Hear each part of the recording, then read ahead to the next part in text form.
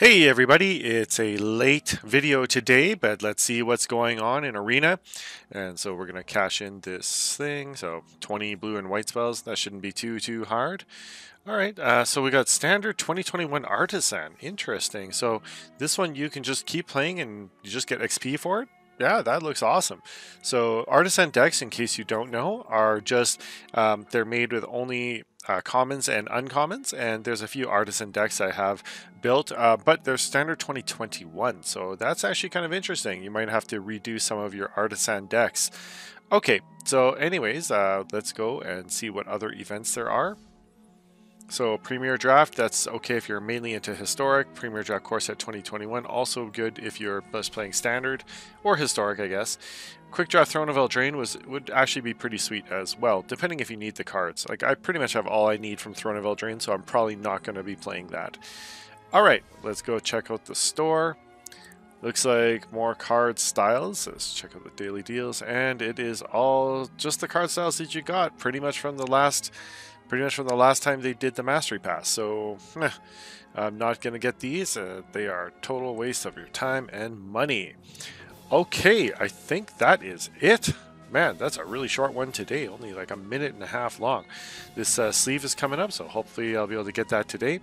But, oh, oh, before I leave, before I leave, there is, yesterday I was playing in the, uh, yesterday I was playing in FNM at home and I got a code from my LGS.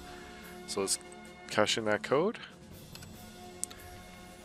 And what I get? Two sets of sleeves. All right. Oh, man, they just went away. Okay, let's go check them out. Uh, Grixis Rose. Okay, let's go see what sleeves there were. They were. They were the little cartoonish ones. Here they are. So I got the um, Uh, oh, Saheeli Rai and the Jaya Ballard. Jaya Ballard's also badass. Like she's awesome. But yeah, I mean these two are are really yeah, you know decent sleeves. I'll take them. And the good thing is the sleeves don't expire, so you know I'm okay with it. All right, so free sleeves are always good, and that's just for playing in the free event. So hey, that is it for the day. Thanks for watching. I'll see you next video. Welcome to part two of my video for today. So I, yeah, I know I finished the daily review, but then I actually went and played the standard 2021 Artisan event afterwards and actually won my first match.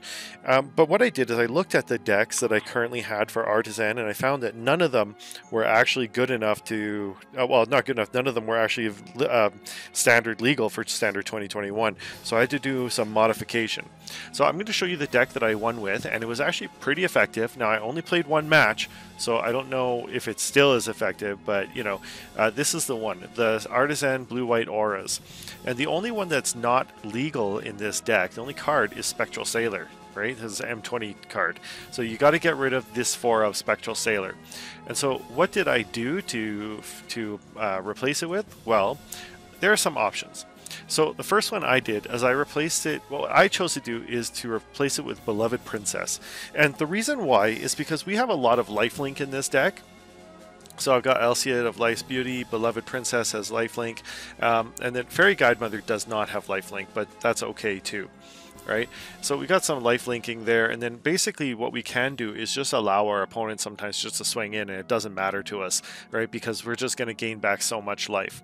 All right, so um, that's what I chose, Beloved Princess, right? Um, and then what if you wanted to, you could take out the Fairy Guide Mother. Like I like to have a 12 of creatures because basically what we're going to try and do in this one is stack a bunch of enchantments and auras onto our creatures. Um, but if you don't want the fairy guide mother, like you basically need to have a creature. If you don't have creatures, then you're screwed. So if if you have you know you want to have an opening a creature in your opening hand a one mana drop and so that's why i've got the 12 right so you, are pretty much going to get a creature in your opening hand every time if you have this right if you want to be a little riskier um, you could take out the fairy guide mother and put in the griffin aerie right? So Griffin Aerie is actually pretty sweet.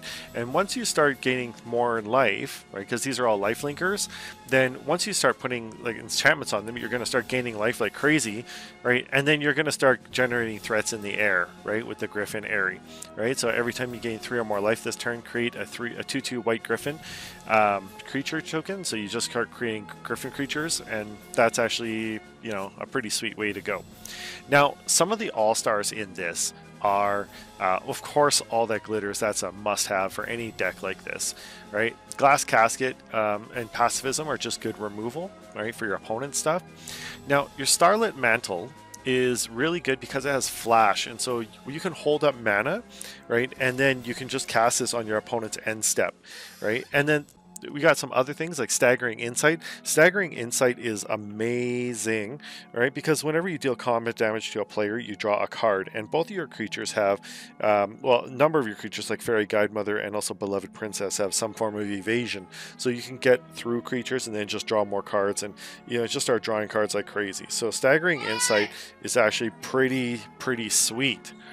All right, so then so then we got uh, the Heliod's Pilgrim, uh, an Arcanist Owl, and basically allows us to just dig for uh, dig for other enchantments and stuff like that. So these are basically all our card draw type things. And then after that, we got a four of Tranquil Cove, seven islands, and ten plains, and that, that seems to be balanced out correctly.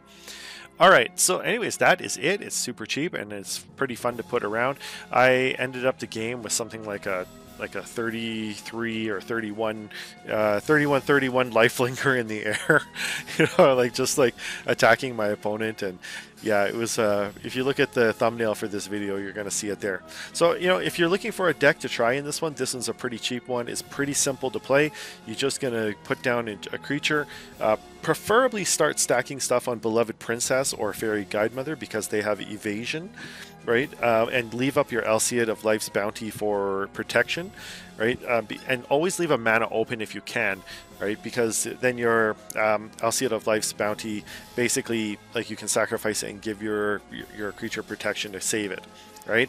Uh, other than that, like, you know, you've got a lot of other protection, like Starlit Mantle can protect your creature, and also Karametra's Blessing can protect your creature as well.